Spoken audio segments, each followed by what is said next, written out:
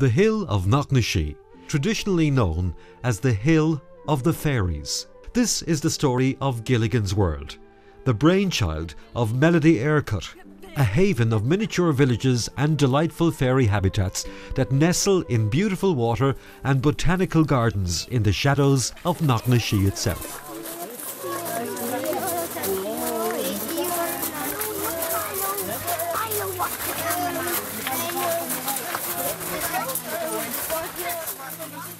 Whether you believe in fairies or not, a visit here will definitely set you thinking. You're greeted by a low stone tunnel entrance, and that sets the scene for a breathtaking array of sights that honour the memory of those who firmly believe that not only do fairies exist, but that they can also offer solitude, comfort, and spirituality for those who wish to believe in them. People get the misconception that Gillighan's World is a children's park. It isn't. It is named Gillighan's World because of the Gillighan family that lived here in the late 1850s, the early 1900s. Of course, when they left, uh, the place became a ruin, and just the bullocks used to be on this, it, it turned into scrubland. So it was developing from that, sitting, creating the houses, the pictures, trying to keep the ancient side of it and give this feeling of spiritual peace, but fun for people of all ages. And I think that message is the most important one to get across. There's great power and energy here. People feel young, they feel peace within themselves, and yet children adore it, love it, and enjoy the innocence.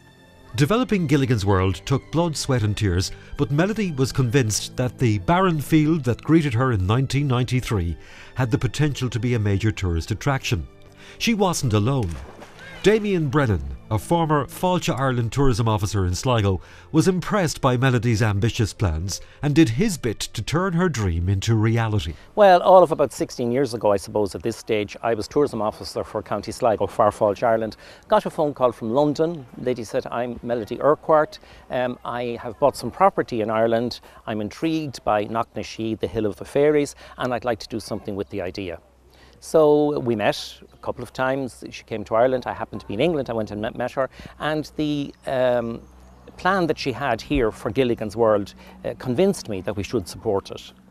Now, at the time, the idea of doing anything with the Irish fairy or the Irish leprechaun, Gilligan the Irish leprechaun, uh, was, was really not quite where we thought the message was. And yet I was convinced, first of all, of Melody's conviction and her determination, and secondly, that it would be attractive to visitors uh, from home and abroad, because there is a story to be told about the Irish fairy, about the place in the folklore of Ireland, indeed about the place in Yeats's poetry here in, in Sligo, the land of heart's desire. There's a story to be told about that, and Melody took it on and delivered it. And you know, 14 years after she has opened, which is this year, uh, you can see today that it's thriving and that it's a major attraction. And it, my, my uh, conviction was probably correct. Gillighan's World is an adventure. Whether it's a quiet stroll to just escape from the hustle and bustle of life or a family day out, this place has it all. The children have lots of areas to explore, and hanging your wishes on the tree is all part and parcel of a visit here. There are lots of animals to see and numerous trails to follow, including the opportunity of climbing Knocknashee itself and viewing the panoramic views from the hilltop.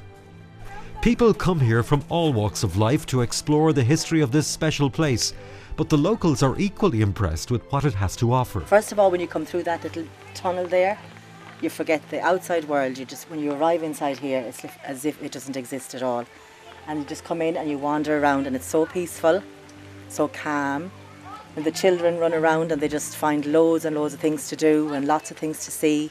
And we get games and stuff for them to do. And then some of the mums and dads go off and they sit and chat to each other. And it's just so peaceful and it's just a lovely, lovely place to be to forget the world outside. Really, really is lovely. Do you believe, do you believe in fairies? I have to believe in fairies. I live around here, but I've never managed to, to see one, I have to say. But um, yes, you'd have to believe in fairies if you come to a place like this. And certainly by the time you leave, you would believe that, they, that they're here. Definitely. How dear to me fond memory, sweet recollection brings. How oft I've listened the live long day to the thrush and blackbird sing. How softly used the cuckoo call from out yon holly tree, and how sweet that sound re-echoed round the hill of Knocknashee.